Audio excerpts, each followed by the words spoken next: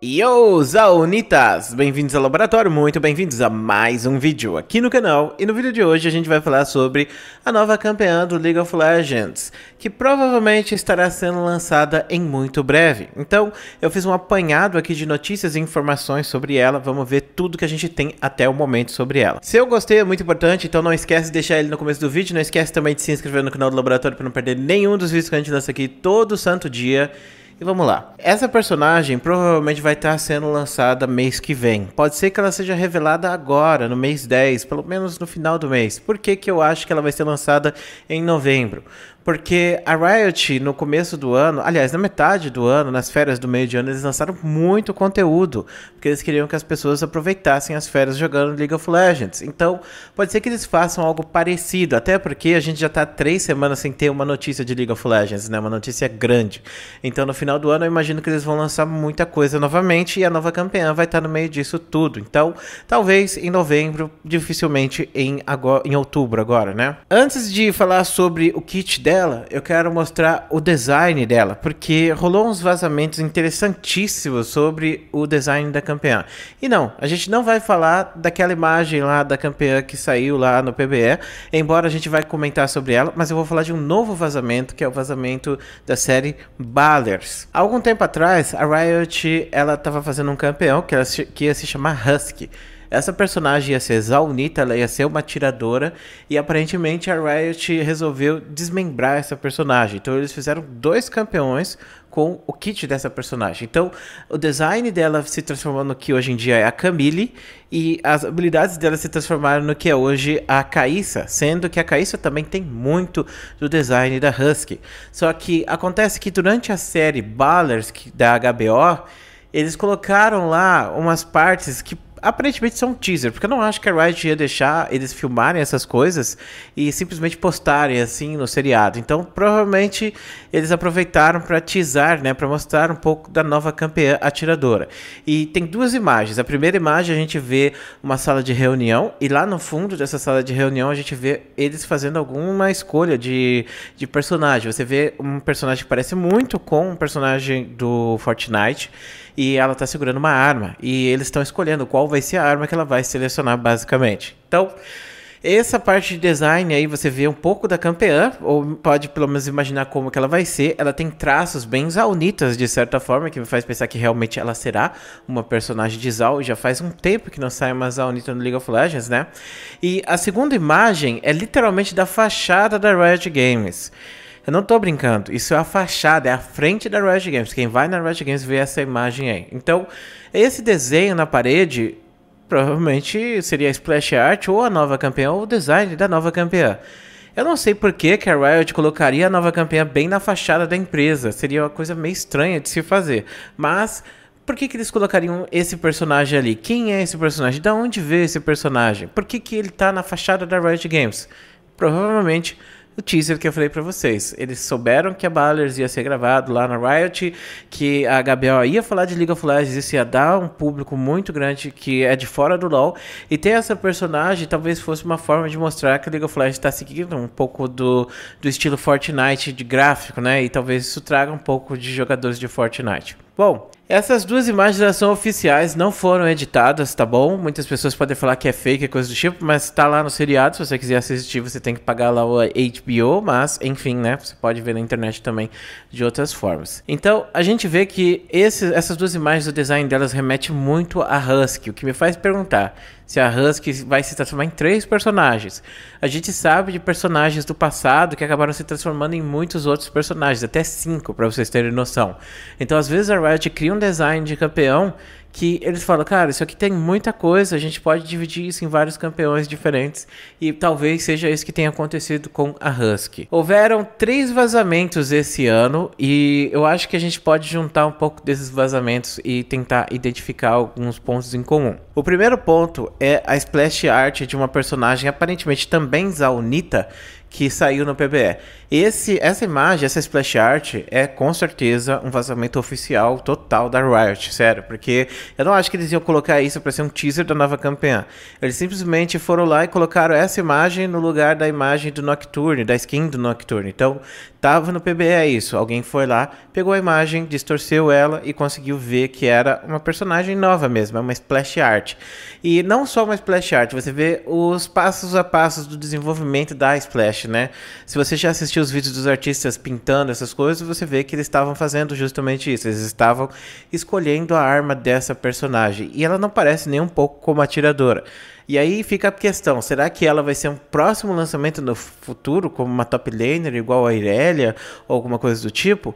Talvez, talvez essa seja uma nova topo que vai sair apenas no ano que vem e ela está em desenvolvimento. Talvez esteja na metade do seu desenvolvimento e talvez a próxima personagem já esteja praticamente completa e vá sair no final do ano agora, né? Então ela já está nas fases de testes. Inclusive alguns writers disseram que estão corrigindo alguns bugs dessa campeã. Oficialmente da Riot a gente só sabe uma coisa, que essa campeã vai ser diferente de tudo que a gente já conhece, mas vendo ela assim, ela parece sim, simplesmente um gunner normal, né?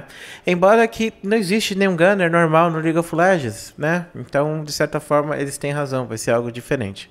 Bom, o Voyboy, um jogador profissional, ex-jogador profissional dos Estados Unidos, ele pôde testar o Mordekaiser lá na Riot Games. Então ele foi fisicamente até a Riot e gravou um vídeo jogando no servidor de testes interno da Riot Games. E lá apareceram muitas coisas. Apareceu um remake extremamente bizarro para Aurelion Sol, que acabou não chegando no jogo. Apareceram diversos novos itens que eles estavam testando. E obviamente apareceu também o novo campeão da Riot, que só tá o nome dele. E o nome seria Afilios. Então lá já tem o espaço para esse personagem. Você poderia selecionar o Afilios, poderia jogar com ele. Mas a gente não sabe quem é o Afilios, se ele é um homem, se ele é uma mulher, se ele ia ser lançado. E há muitos indícios de que essa nova personagem Gunner aí que a Red está preparando para lançar, talvez ela seja o Afilhos, ou melhor, a Afilhos no caso e a gente vai juntando as peças aos poucos, né? Então, aquela personagem que tinha vazado anteriormente, talvez ela seja uma personagem totalmente diferente, que não tenha nada a ver com a Filhos, ela seja o campeão que vai sair depois do Filhos, no caso, ou até mesmo um remake ou uma nova skin, quem sabe, né? Vamos ver qual vai ser esse esquema aí. Até porque, se você for analisar a Splash Art, ela não parece ser tanto uma atiradora, né? E por fim, a gente tem esse texto aqui, que esse vazamento aconteceu na metade do ano e teve algumas coisas que que estavam certas nesse vazamento, outras coisas que estavam completamente erradas.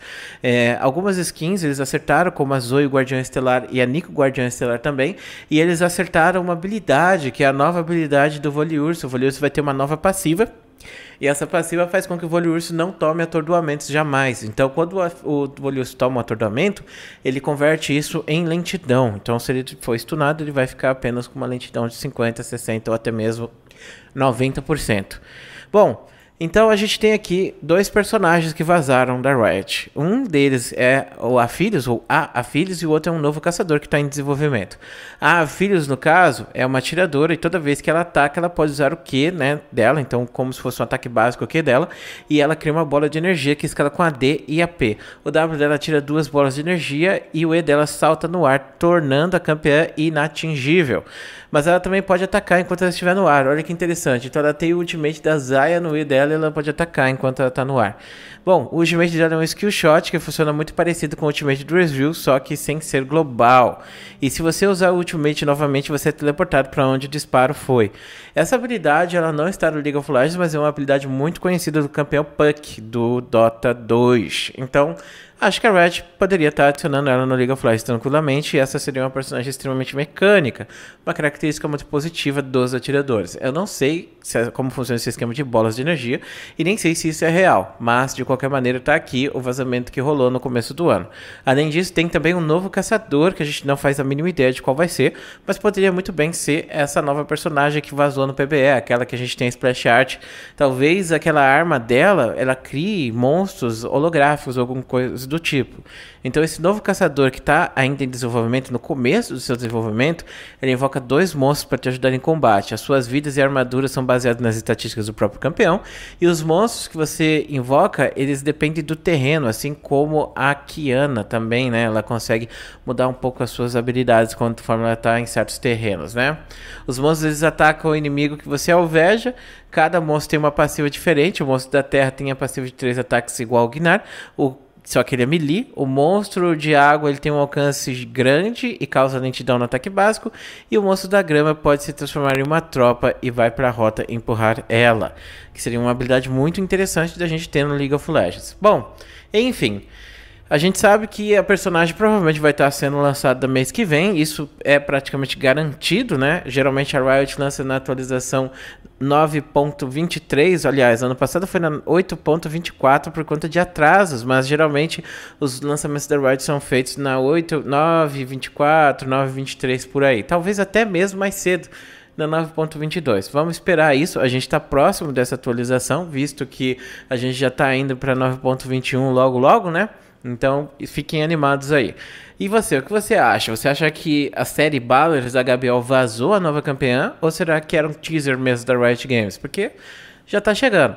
E tem mais uma coisa que eu não comentei aqui, mas a Riot pretende colocar no jogo algumas coisas relacionadas a esse personagem, como por exemplo, você vai, vai ter um, alguma coisa que vai acontecer quando você estiver jogando, por exemplo, na época da Caíssa, ela dava um tiro e matava o Barão, então era, essa era a referência né, da Caíssa, do Bardo ficava o símbolo do Bardo no mapa, o Tankenshi ria no mapa, então sempre tem essas coisas acontecendo. E a Riot, nessa campanha especificamente, eles disseram que eles vão colocar alguma coisa para as pessoas saberem que ela tá por vir, beleza?